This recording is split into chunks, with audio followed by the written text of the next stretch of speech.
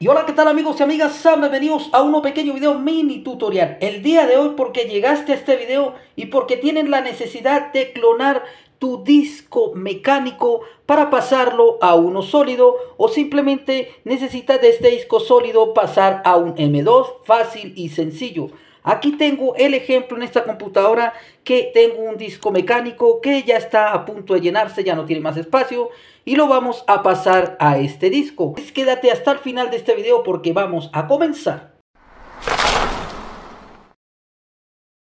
Bueno amigos y amigas, antes de comenzar con los pasos del tutorial, les voy a dar ciertos requisitos. Si tienen una computadora como la que yo tengo aquí, que es un portátil o una laptop, y no tenemos la forma de clonar nuestro disco, pues simplemente lo que vamos a necesitar es lo siguiente. Este convertidor que ustedes ven aquí, que es de SATA a USB, se le conecta este convertidor al disco sólido y ya queda ahí listo.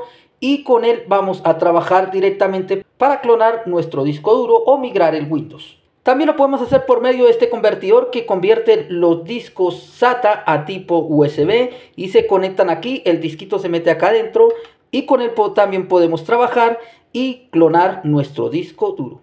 Bueno, ahora sí dicho lo anterior, vamos a entrar en materia con los pasos de clonar el disco duro. Lo primero que vamos a hacer, se van a venir a la descripción de este video y van a entrar a esta página que se llama Macrium. Simplemente ustedes van a bajar, bajar, bajar. Y aquí en esta partecita donde dice soy un usuario de hogar, le van a dar aquí en Discover, le dan un clic y lo lleva aquí a estas dos versiones. Hay una que es de paga y una que es gratis. Obviamente nosotros vamos a utilizar la gratis que tiene prueba de 30 días. Le vamos a dar clic aquí donde dice Download Free Trial. Le damos clic. Aquí cuando le damos clic nos pregunta la arquitectura de nuestro Windows. En el caso mío es Windows 11 a 64 bits. Le voy a dar clic aquí. Nos va a llevar aquí a esta paginita, así que en esta paginita ustedes pueden llenar aquí con sus datos personales esto o simplemente se van a registrar aquí con su cuenta de Google. Así que yo me voy a registrar con la cuenta de Google. Y listo, ya me registré con mi cuenta de Google. Así que a ustedes les va a aparecer esta barrita aquí abajo cargando. Vamos a esperar un poquito que eso cargue al 100% y nos va a hacer una descarga.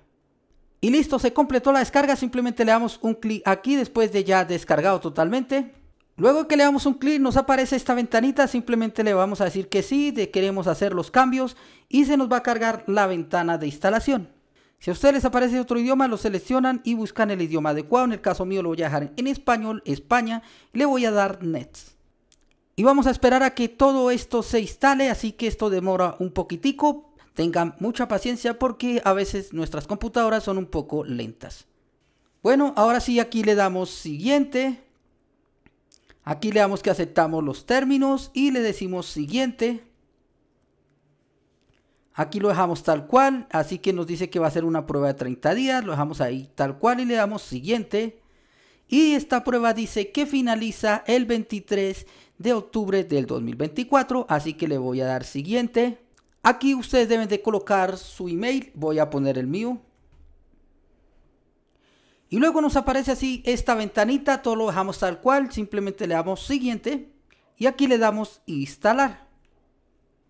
Vamos a esperar a que todo esto se instale y ya vamos a continuar con los siguientes pasos. Y listo amigos y amigas, aquí ya terminó la instalación, simplemente le vamos a dar finalizar y ahora aquí nos dice que reiniciemos nuestra computadora, así que le vamos a decir que sí y la vamos a reiniciar. Después de reiniciar la computadora, pues nos va a aparecer aquí este iconito que están viendo aquí en la partecita de abajo que estoy moviendo, que se llama Macrium. Vamos a darle doble clic.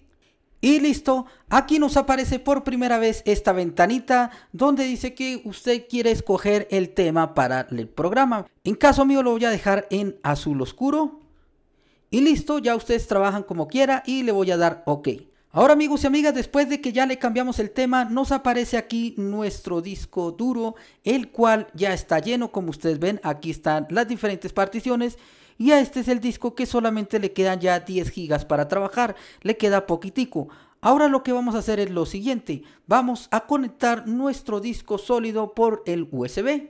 Y luego de conectado, lo que vamos a hacer para que nos aparezca aquí, le vamos a dar aquí donde dice actualizar, damos un clic ahí Y ya nos aparece aquí nuestro disco duro. A ustedes les puede aparecer con diferentes particiones. En el caso mío, como está nuevo, me aparece así. Es un disco de 512 gigas. Lo que yo voy a hacer ahora es, aquí ya tengo seleccionado todas estas particiones, que la del Windows. Le vamos a dar aquí en esta parte que dice clonar este disco. Le damos un clic. Y ahora lo que vamos a hacer aquí es seleccionar un disco para clonar. Damos un clic. Nos aparece aquí, lo seleccionamos y listo, ya quedó listo ahí para empezar.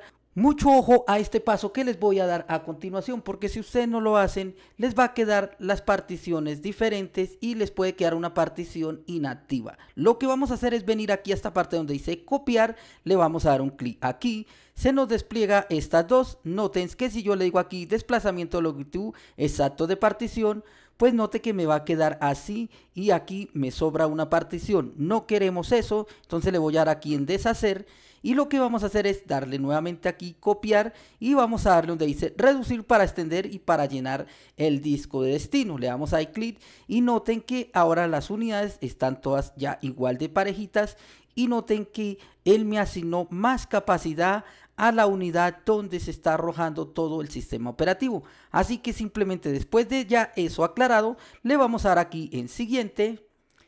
Le vamos a dar aquí nuevamente en siguiente. Aquí lo dejamos tal cual y ahora sí venimos y le decimos finalizar. Y aquí nos pregunta lo siguiente.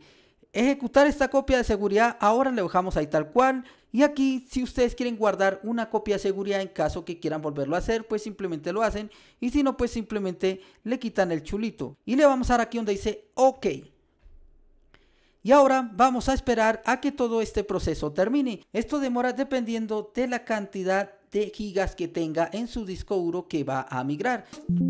Bueno, ya acabó el proceso de clonación y nos aparece así, duró 46 minutos clonando nuestro disco duro. Ahora simplemente le voy a ir aquí en OK.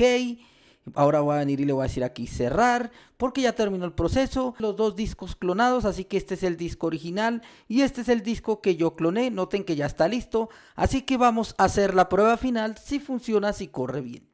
Bueno gente, ya tengo el disco de que cloné, aquí ya está listo clonadito, lo voy a quitar de aquí del convertidor y se lo vamos a colocar aquí a este portátil. Le voy a quitar la tapita porque ya lo tenía listo, entonces para hacerlo más fácil. Y este es el disco mecánico que él tenía, simplemente lo voy a quitar. Y lo voy a reemplazar por este que clonamos. Voy a tapar el portátil y listo. Y antes de atornillarlo voy a hacer una prueba de que sí agarre el sistema operativo bien, que inicie bien con el disco clonado. Así que lo voy a encender si funciona bien, así vamos a encenderlo. Y vamos a ver si quedó bien clonado el sistema operativo en este nuevo disco. Noten que ya empezó a cargar.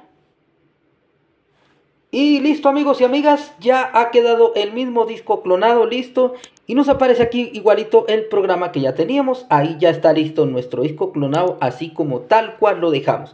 Así amigos y amigas, que si te gustó este video, apóyalo con un poderoso like, suscríbete al canal, activa la campanita de notificaciones y nos vemos hasta la próxima.